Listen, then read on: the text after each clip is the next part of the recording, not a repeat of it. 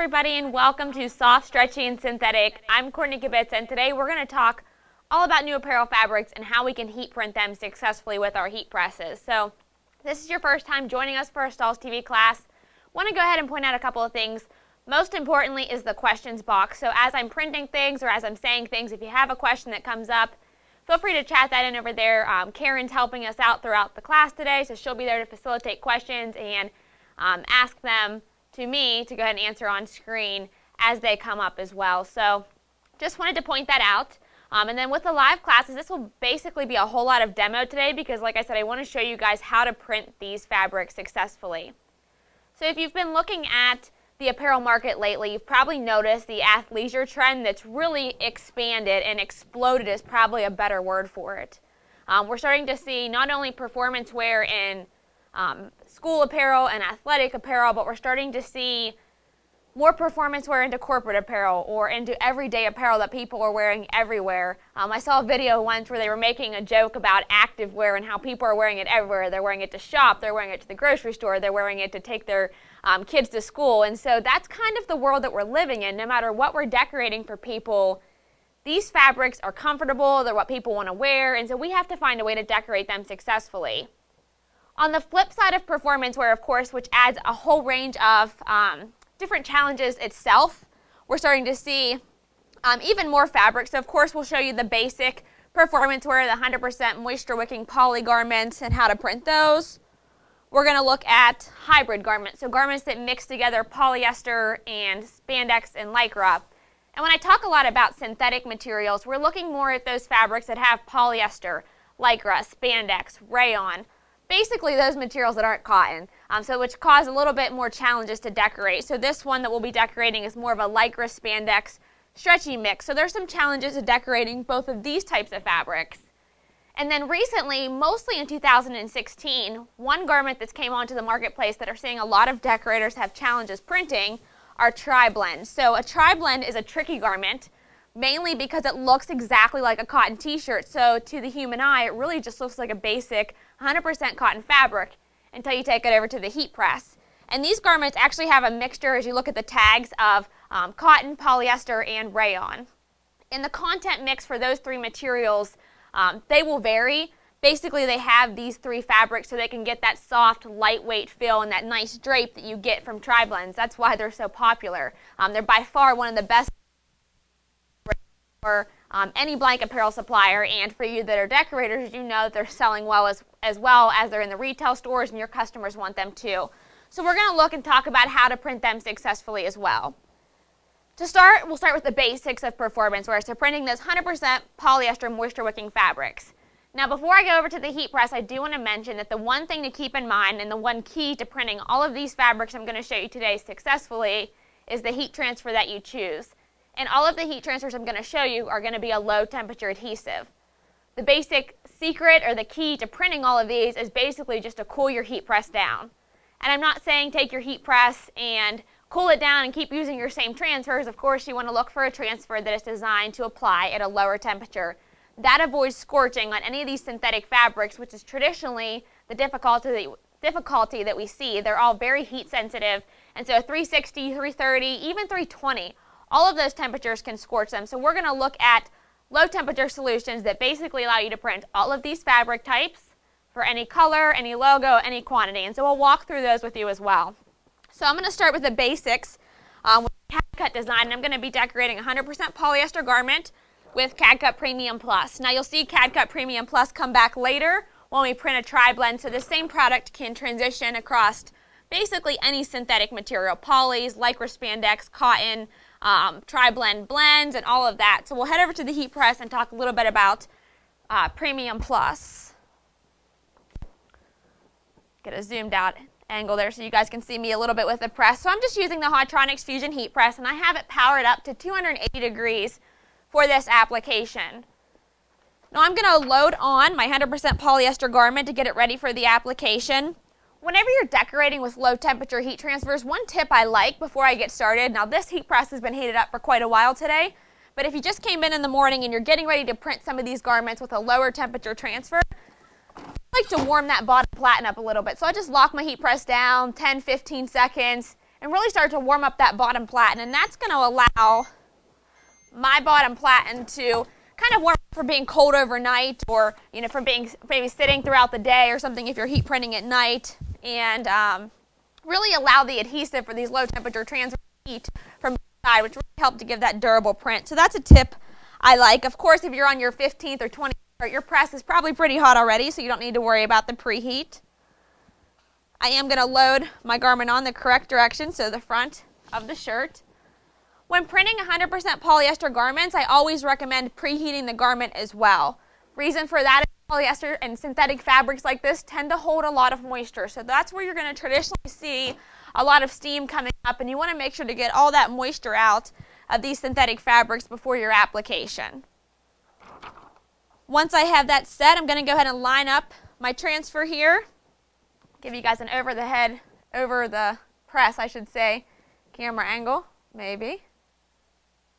This never works for me. we'll go ahead and go without it for now. All right, press this down now for CAD-CUT Premium Plus, it's 280 degrees, 8 to 10 seconds. I'm going to lock that down also at a medium pressure, so keep in mind a um, low dwell or a lower application is ideal for these types of settings. So we had a low dwell, a low pressure. Premium Plus is a warm peel, so I give it a couple of seconds, usually about three to five, before I peel back the uh, carrier.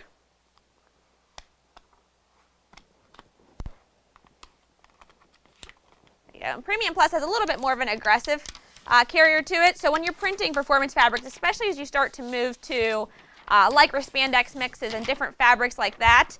I always like to tell customers, be careful not to uh, do the grip and rip whenever you're printing these fabrics because what's going to happen is you're going to uh, distort the image a little bit so you won't be able to really work that. And so I'm going to go ahead and give it a quick tug. You'll see not only is it soft, lightweight, has that low temperature adhesive for a, for a performance garment, but it also has the stretch and rebound that you want. I'm going to get a close-up shot here and take this up to um, one of my other angles here, get a nice over the head shot with a floor. And you guys can kind of see how this product really um, works. So it's got that nice, soft, lightweight feel. Has a lot of stretch and rebound. And has a nice finish on the garment. So this is CAD-CUT Premium Plus. You're going to cut it on your vinyl cutter and get that nice, soft, lightweight feel. So that works perfect for those applications. I'm going to head back over to the Fusion Heat Press and grab my next garment and design while you guys are taking a look at that one there.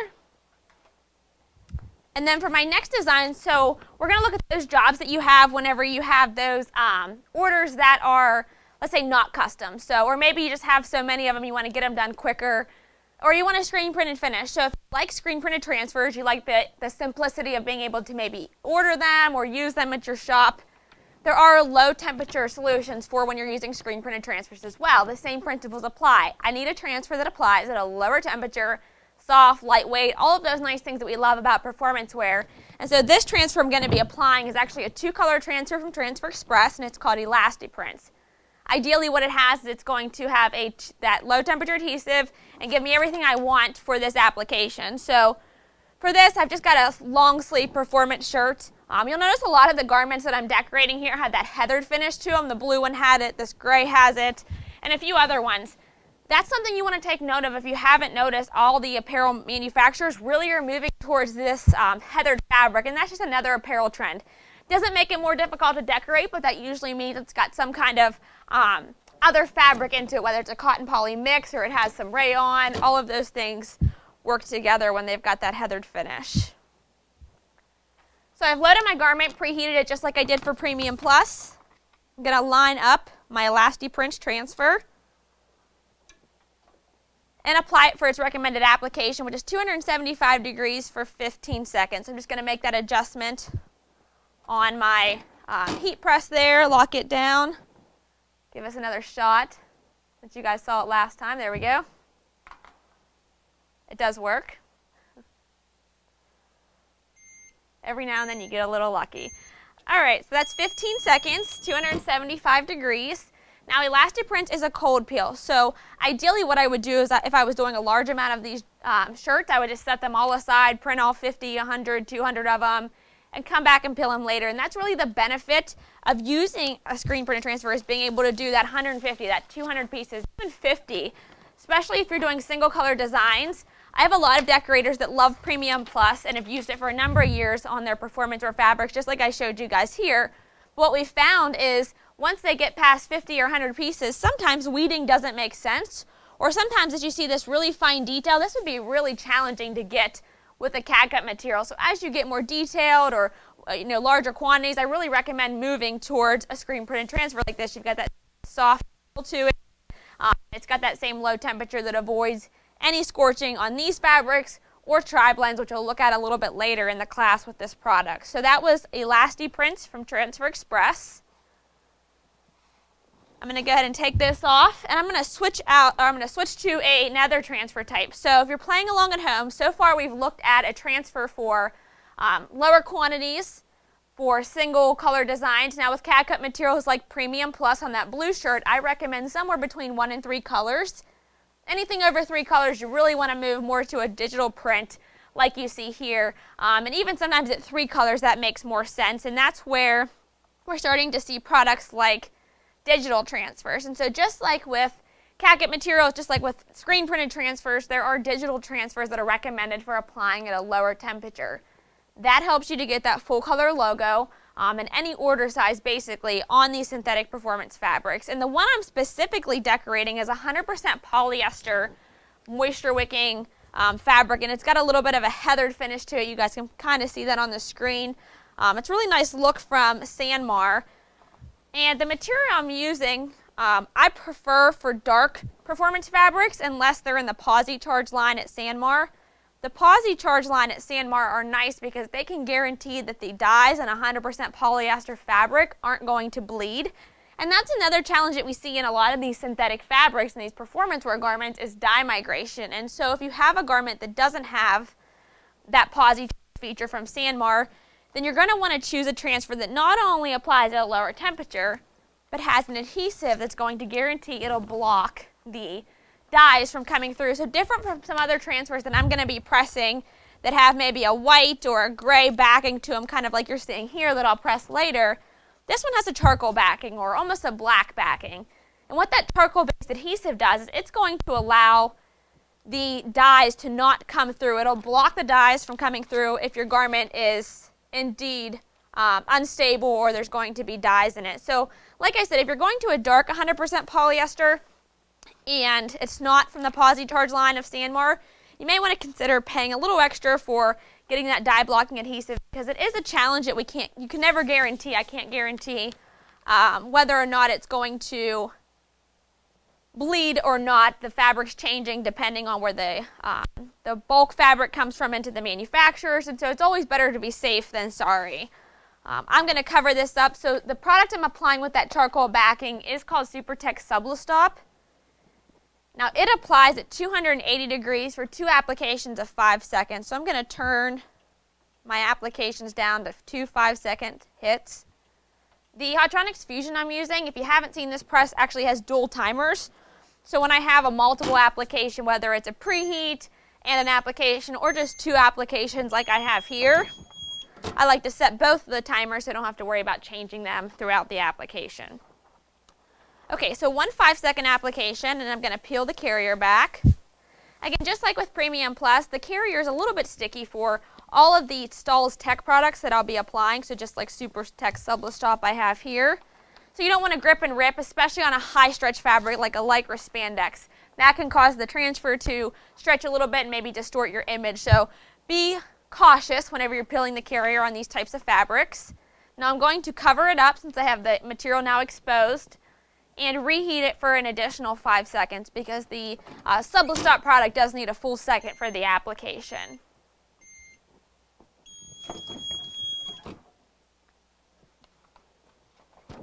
Peel that cover sheet back. Then we'll let it cool down a little bit before it stretches, but although this is 100% poly fabric, it doesn't have a ton of stretch. It's more lightweight. This product, although it's a, a dye blocking product with a, a, stronger adhesive, it does have a, still a soft, lightweight feel. It's got a lot of stretch to it, so you can see as I'm tugging it and laying it back down, it's not distorting the image. It's moving with the wearer. So if you're starting to decorate any type of compression fabrics, for schools, leagues, or any of these really nice lycra spandex zip-ups that are even in the corporate world, you want to look at a product that has the stretch like this in the Stahls Tech line. So those are some things to consider. I'm going to remove this and I'm going to actually be printing that metallic finish. So when it comes to printing synthetic fabrics, one trend that we see not only in these types of fabrics, which again you're seeing the heathering and the color blocking with some of the um, charcoal coloring down the striping, but another big trend that we're seeing is with metallic finishes. So taking a full color logo, taking a single color logo, and making it pop with a little bit of shimmer, shine, and metallic, and we're getting that with the foil version of the tech product. So now we have a transfer that is low temperature, so it's going to give us what we want when it comes to not scorching these synthetic fabrics. It's going to have the stretch and the soft feel that we want, and it's got that metallic finish. So this is the metallic white color, um, but there's also a silver and a gold, and so it changes depending on what color you're using. And when I go to print a zip-up jacket like this, or any item, you'll notice that even the t-shirts I've printed, I made sure to pull all of the seams off. So the collars are always off, the shoulder seams are always off, and that's really important when you're decorating these heat-sensitive synthetic fabrics because those raised areas are more likely to scorch. So even if the garment doesn't scorch itself under a lower heat, um, you're going to start to see higher pressure areas, like a higher raised seam, also get a little bit of pressure. So even if it's away from the transfer that it's not going to cause an um, inaccurate application, you want to try to get those seams off as much as possible. So I'm going to actually use a heat printing accessory called a interchangeable platen on my Fusion heat press. So I'm going to just grab the gold knob underneath the press and lift out my platen. So you're going to notice that the Fusion heat press has a pin registration. So there's just a pin on the bottom of my 16 by 20 platen, which gives me the ability to drop in a smaller 6 by 10 size into that pin registration hole. So it's a quick, fast and easy change. And now when I want to go to print a zip up synthetic fabric like this, I can actually load the garment right onto the platen. So now all those seams from the shoulders, from the um, collar of the shirt, all of that's fallen off, including the zipper. That's important as well because, of course, that zipper, I believe, was plastic, so it could melt under the high heat of the heat press. Now, before I press things on a 6x10, one thing to keep in mind is I mentioned earlier that low pressure is important. Lower pressure. Whenever you change to a 6x10 platen onto your 6 16 by 20 heat press, you want to double check the pressure of your machine, which is what I'm doing here by adjusting the over the center pressure adjustment knob.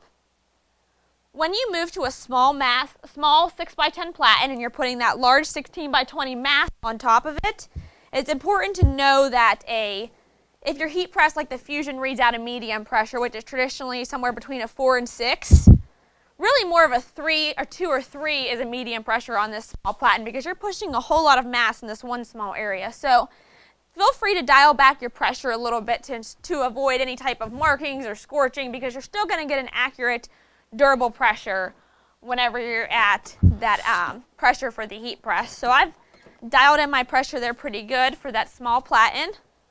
I'm going to line up my Foil Tech transfer anytime I use the tech products, you're noticing I'm using a cover sheet. Really good for making sure you're holding down that transfer because the carrier sheet is very, very thin, so it can actually curl a little bit and cause the transfer to stick to the top of the heater, which we don't want. So just like with SuperTech Sublistop, FoilTech is in the same product category, so it uses the same application. It's a five second application. And then I'll peel back that carrier again with that same soft movement, just like I did for the um, Sublistop. Recover it with my cover sheet. And then seal it for the final application.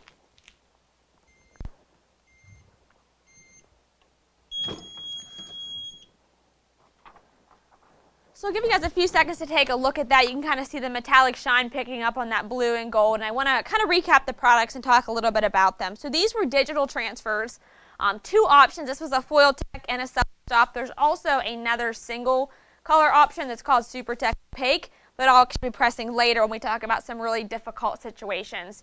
Um, all of them apply at that same low temperature application and they have different purposes. One's for your basic matte finish, the other one gives you the dye blocking adhesive, and then this one gives you the metallic, which comes in silver, white, and gold.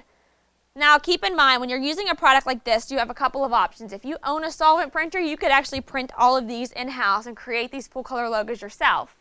If not, this is a digital transfer that you would be ordering specifically um, with your full color logo, and it's really just ideal for those full color situations.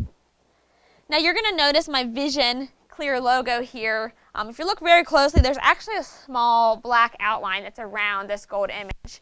And that's just one of the natures of this product. And when you start to move to a, a digital transfer or a full color transfer, and you need something that's going to give you that full color or that gradient pop that you're getting from this, but maybe you want finer detail, which isn't able to be done with this application just because of the, the product that we're printing on, the, the vinyl material. And so we're going to look at a different transfer type that's called stretch litho um, that's going to allow you to get that fine detail and a low temperature adhesive on these performance fabrics.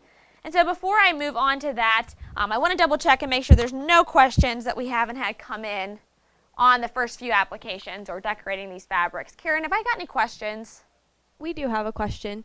What would be considered medium pressure when using an older air Hotronix heat press?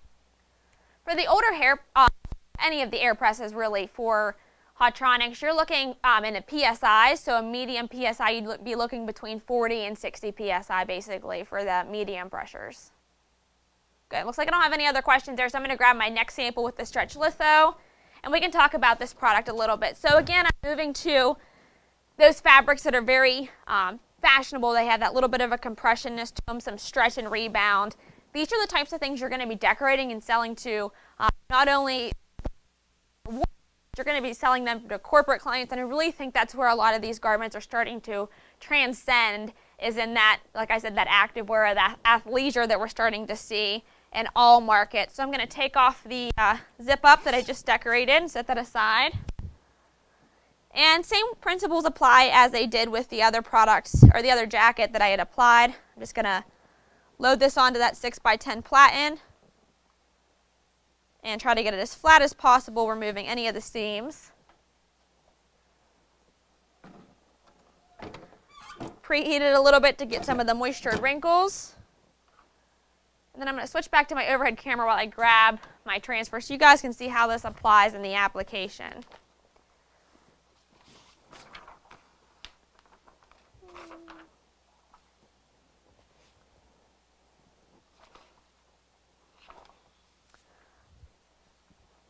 Seem to have mislocated my small design. Which isn't surprising because I'm a little, my office is a little messy. Here we go. All right. So these transfers you guys are seeing up here on the screen are actually what we call the stretch litho. So different from the other transfers that we've seen, this is kind of a hybrid transfer that really mixes screen printed transfers with digital transfers. And so you're getting the benefit of the digital transfer and all of the full color logos like you see here in this World Games image. But on the flip side, um, we're also getting that very fine detail, and you'll see that in the Los Angeles 2015. And so if you're looking at this on the screen, it probably doesn't look like too fine of detail in the way that the transfer is going to um, look on the paper, but I want to show you kind of what I call the magic of how this appears and how it works. So the first application, as I lay this transfer out for a full 11 seconds, at 275 degrees. And so I'm at 280, so we're going to go ahead and run it as is, but you want to be at 275. And medium to firm pressure for the pressure setting on this.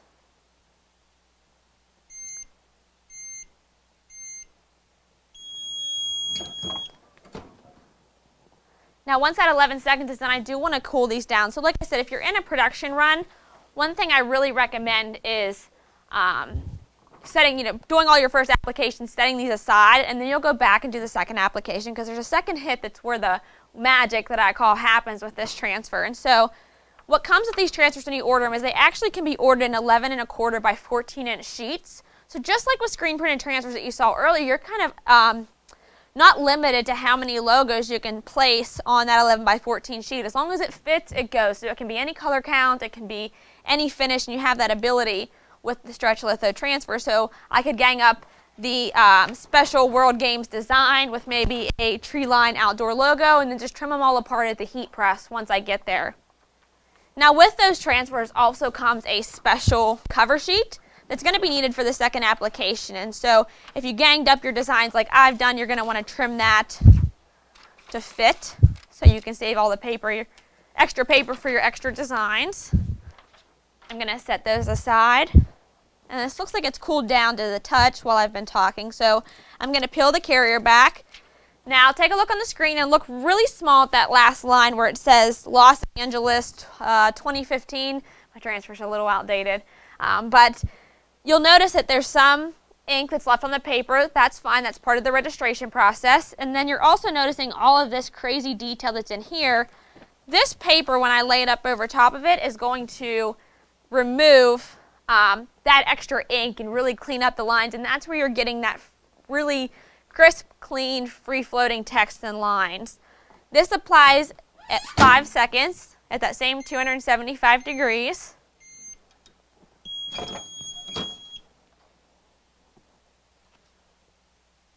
I'm going to remove my carrier there and then you'll see how it pulled off all that extra all that extra ink that I didn't want that was making it kind of blurry difficult to see. And now you're really able to see even the trademark um, that's very, very fine detail on there. All of that is now cleaned up, all of the detail inside the World Games logos. This is a really phenomenal example of things I couldn't have done with CAD prints, but are now possible with stretch litho. And so it really opens me up to any logo, any detail, any color count, all of that on a lightweight and soft material. And so I'll switch back to the main camera. And then Karen, do you have any questions while I'm getting ready to show this on the screen? We do have a question. Okay. Can you use stretch litho on regular cotton t-shirts? Yes, stretch litho, the same product applies. It looks really great here on this uh, quarter zip shirt, um, but it applies 100% cotton, cotton poly. So even if you have these types of logos and you're looking for them for regular t-shirt application, it works along with the stretch and performance where same application applies. No questions? Okay. Awesome. So I'm going to set this aside there. That was the stretch litho, and so that's a transfer that would have to be ordered from Transfer Express. So there's not a machine that you could purchase to do this like you could with a solvent printer or a vinyl cutter for the other applications I've shown you guys here so far today. So that takes a look at some of those synthetic performance wear fabrics. They've kind of been out in the market for a while, but they're just growing in the availability and the demand from customers, and so it's important to understand how to decorate them. Now we're going to talk a little bit about that new fabric and the tri-blend and some of the challenges that we see there. Now this tri-blend specifically I mentioned earlier, they have a mixture of cotton, polyester, and rayon. So that content and the amount of each type changes depending on the tri-blend that you're ordering. So a tri-blend from Sanmar is going to be different from a tri-blend from Next Level Apparel. It's different from a tri-blend from Boxercraft. And all of them have their different components.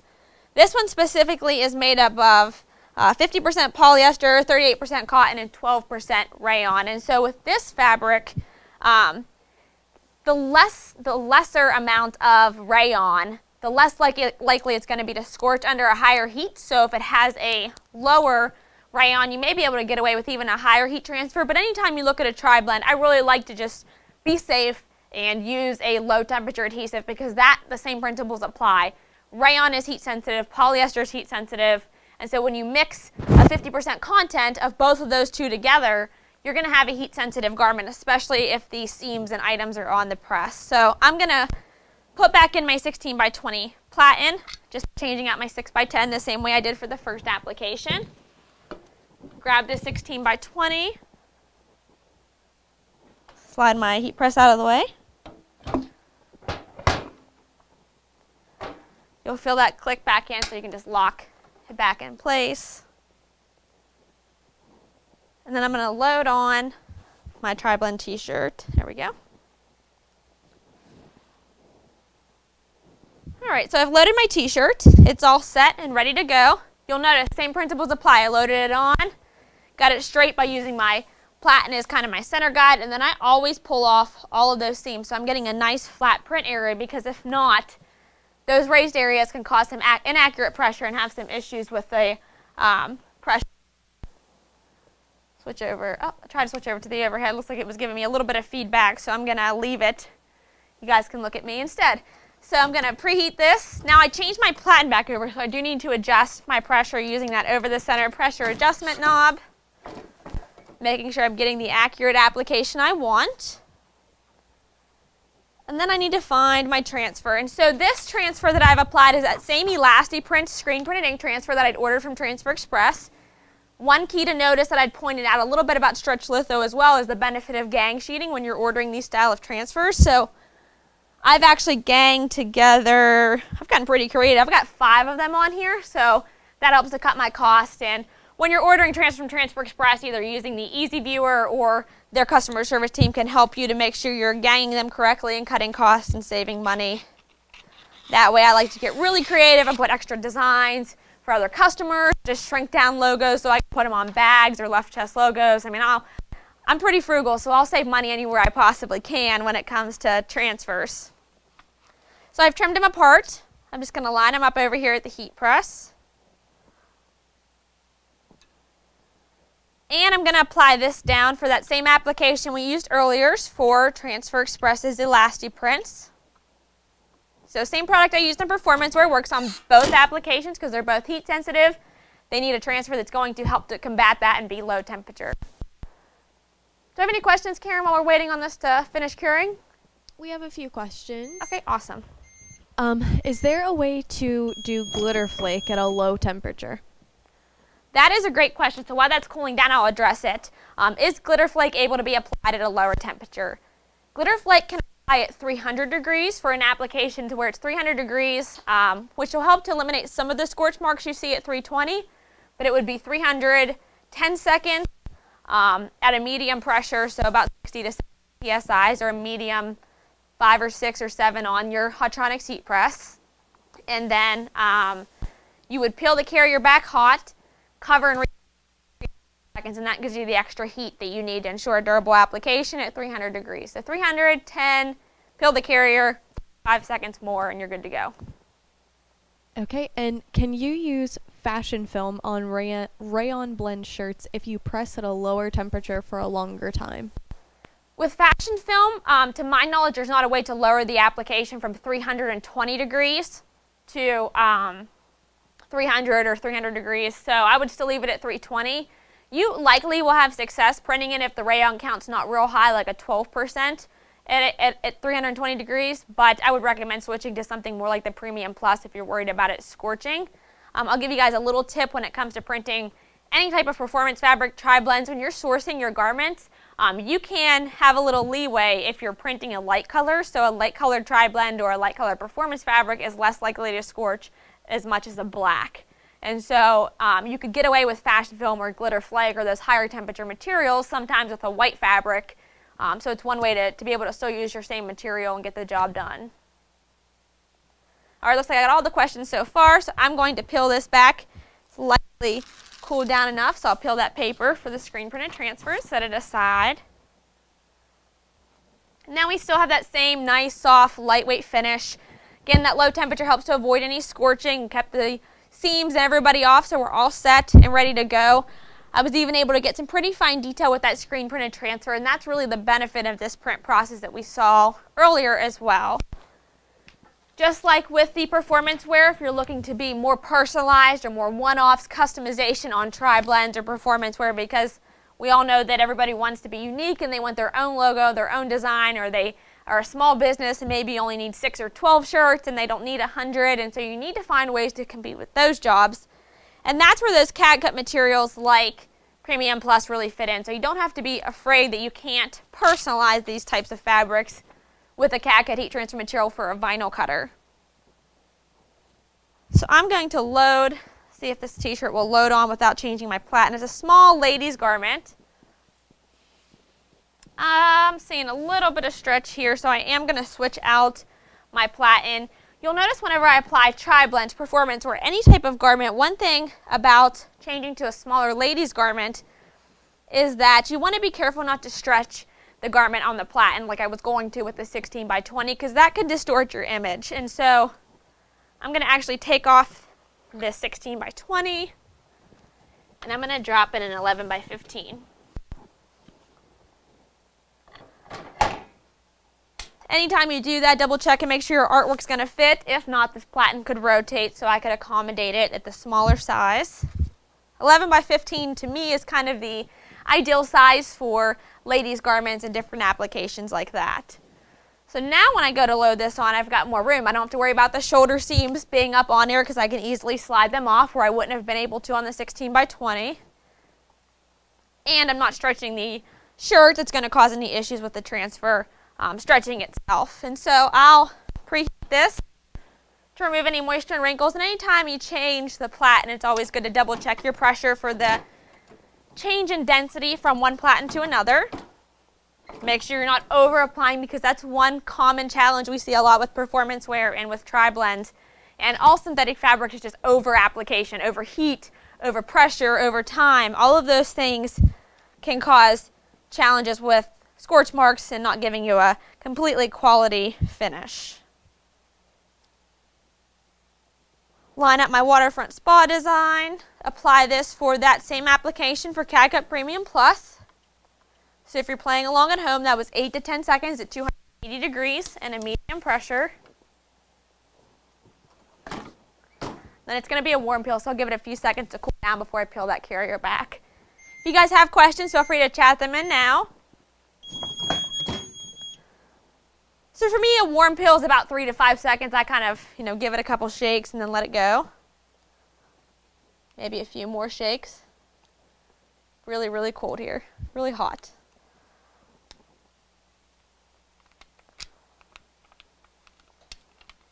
So again, like I mentioned with Premium Plus, you want to be careful not to do what I call the rip and grip when you're peeling the carriers back that could cause any issues.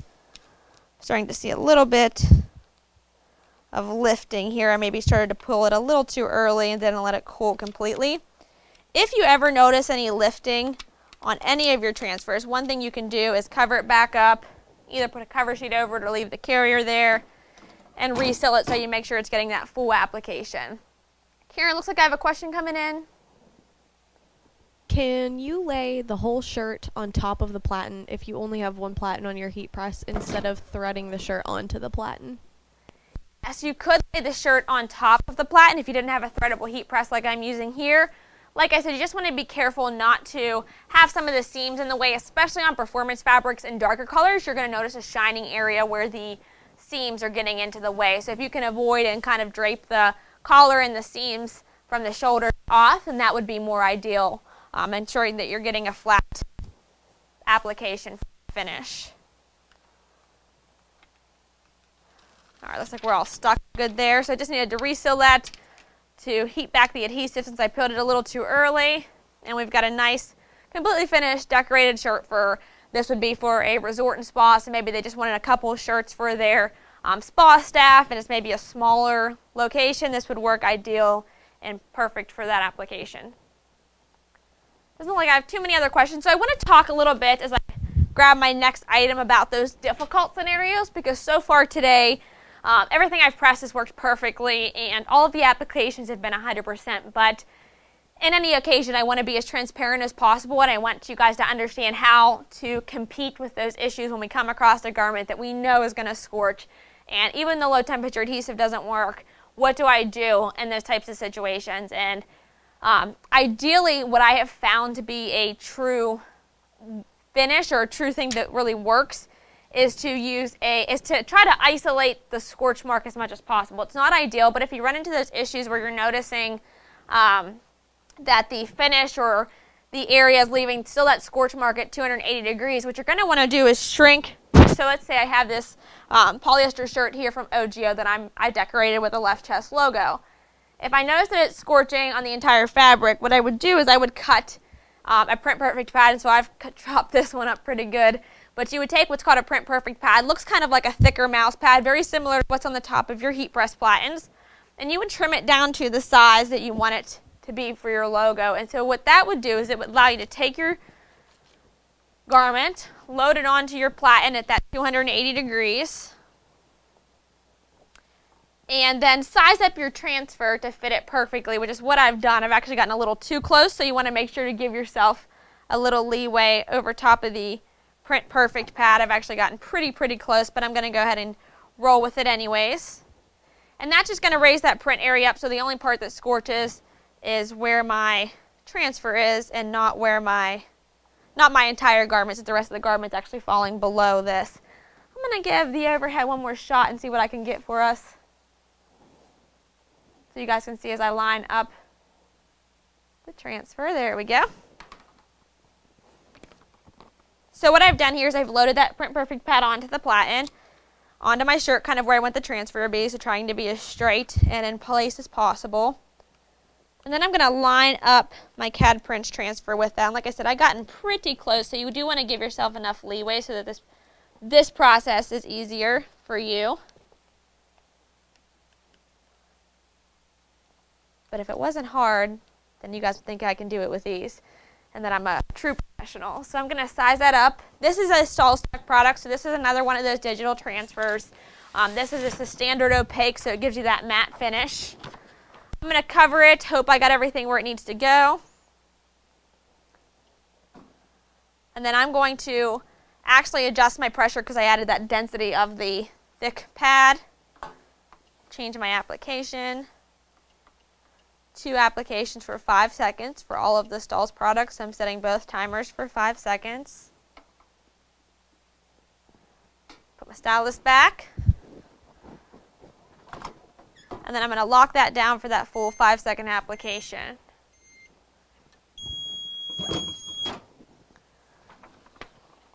Now when I go and peel this back, I'll notice if I didn't get enough pressure. Oh, looks like I got everybody in place. Perfect. See, lining that up was easier than you guys thought, even if uh, I cut that pad a little too close. So another application of five seconds with that Print Perfect pad just to get the full application needed for the tech product.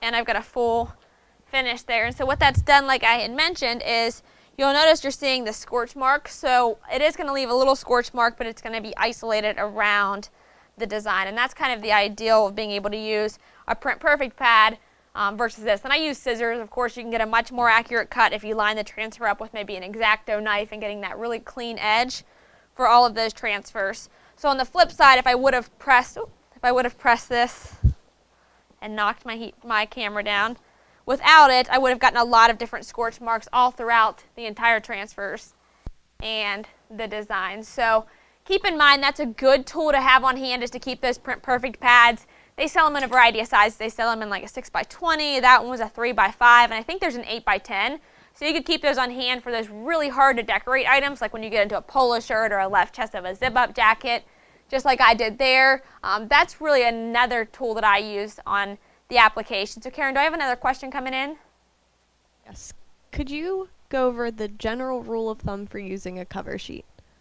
General rule of thumb of cover sheets are kind of like the general rule of thumb for seatbelts. You should always wear them and you should always use your cover sheet. And so I really traditionally always use should use a cover sheet to protect your transfer from the heating element.